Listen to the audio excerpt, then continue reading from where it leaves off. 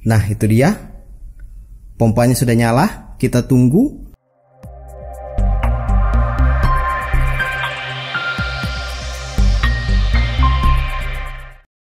Assalamualaikum warahmatullahi wabarakatuh. Jadi sebagaimana yang sudah admin coba buatkan beberapa video ke belakang ya Soal di rumah ini itu mengandalkan air hujan Sebagai sumber air utama buat nyuci, masak, ya buat kebutuhan sehari-hari MCK juga termasuk di situ Nah berhubung di rumah ini dalam waktu dekat mungkin bulan ini bulan Agustus pada saat video ini dibuat itu bakal masuk jaringan air bersih dari PDAM. Jadi admin ingin melakukan pengecekan pipa yang berasal dari rumah ini. Jadi rumah ini tuh rumah KPR ya.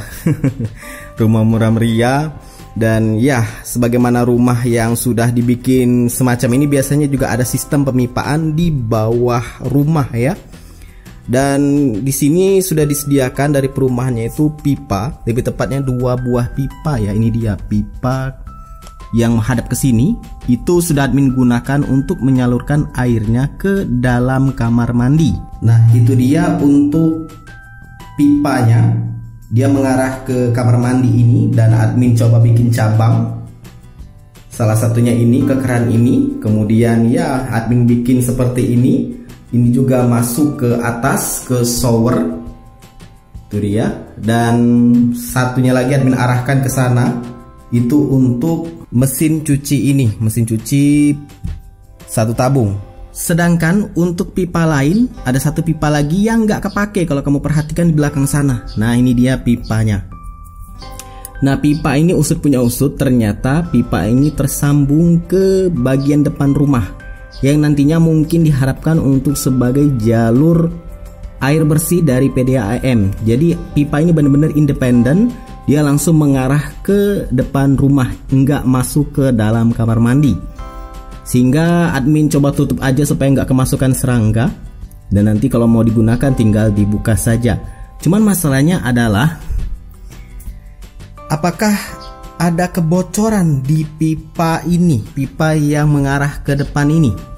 Karena ya sebagaimana yang kita tahu biasanya ya pengalaman admin ya di rumah sebelumnya juga sama itu pipa-pipa yang dipasang oleh perumahan itu nggak setebal pipa yang kita beli sendiri. Seperti yang ini nih admin beli sendiri. Itu tebal banget pipanya. Dan harganya jauh lebih mahal daripada pipa yang pada umumnya. Admin khawatir nantinya bakal ada kebocoran atau mungkin sambungan yang nggak rapet nutupnya terjadi di bawah rumah ini. Yang mana yang nggak akan bisa diperbaiki harus dibongkar lantainya maka dari itu admin akan coba cek dulu untuk kebocorannya. Nanti caranya admin akan coba jelaskan supaya nanti admin akan coba mengambil keputusan apakah meteran airnya nanti akan ditaruh sejajar dengan pipa bawaan dari perumahan ini atau enggak. Nah, untuk cara pengetesannya sederhana saja. Di sini admin menyambungkan pipa tadi ke selang ini menggunakan sambungan konektor seperti ini supaya lebih mudah ini dia. Jadi selang ini langsung terhubung ke keran air. Yang mana keran air ini didorong aliran airnya menggunakan pompa otomatis. Sederhananya jadi ketika keran nanti dinyalakan airnya itu akan mengisi pipa ini. Pipa ini yang kuning ini dan akan mengalir ke depan. Di depan itu sudah admin tutup untuk saluran airnya jadi kalau misalkan tidak terjadi kebocoran, maka setelah keran ini dinyalakan, pompanya nanti akan bekerja nyala, kemudian mati, dan itu harusnya pompanya nggak hidup lagi. Jadi kalau ada kebocoran, pompanya bakal hidup. Jadi sederhananya seperti itu karena ini pompa otomatis ketika tekanannya sudah cukup, dia akan mati sendiri. Dan kalau terjadi kebocoran tekanan, pompa akan menyala. Ya, sederhananya seperti itu, langsung kita praktekkan saja. Si admin akan coba nyalakan untuk kerannya dan pastikan gak ada kebocoran ya untuk sambungannya ini. Nah, itu dia. Pompanya sudah nyala. Kita tunggu beberapa saat apakah pompanya bakal nyala lagi.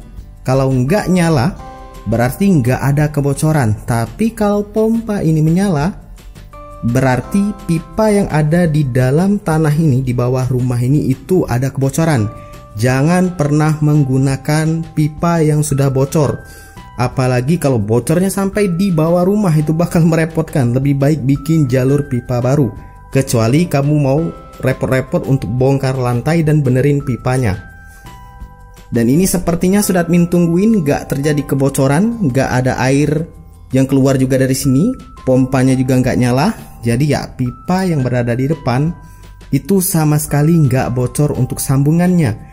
Itu khawatir banget admin karena kenapa ya? Karena bukan admin yang pasang pipa di bawah itu, melainkan developer rumah.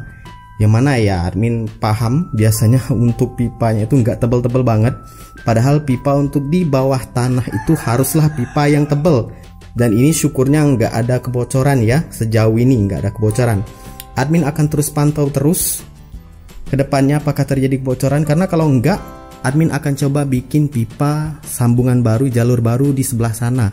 Ya bakal bak ya bakal panjang nanti pipanya. Kalau misalkan bocor yang tadi bakal diaririn dari depan sana bikin bentuk L langsung ke bagian belakang sini supaya bisa dibuat jalur pipa baru. Tapi kalau sepertinya sekarang ini nggak terjadi kebocoran ya jadi admin akan coba gunakan jadi buat kamu yang pingin pasang jalur pemipaan khususnya ketika PDM PDAM masuk ke rumah ke komplek kamu ke perumahan kamu dan pingin ngebuktiin ngetes apakah jalur pemipaan yang ada di perumahan kamu di rumah kamu khususnya yang dipasang developer itu terjadi kebocoran atau enggak atau rembes atau enggak bisa gunakan cara ini.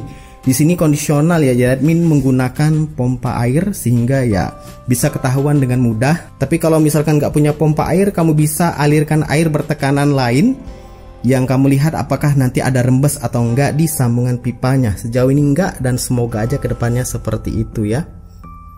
Ya semoga video ini bermanfaat buat kamu sederhana Ini based on pengalaman admin sendiri Silahkan like, subscribe, dan bagikan channel ini ke teman-teman kamu See ya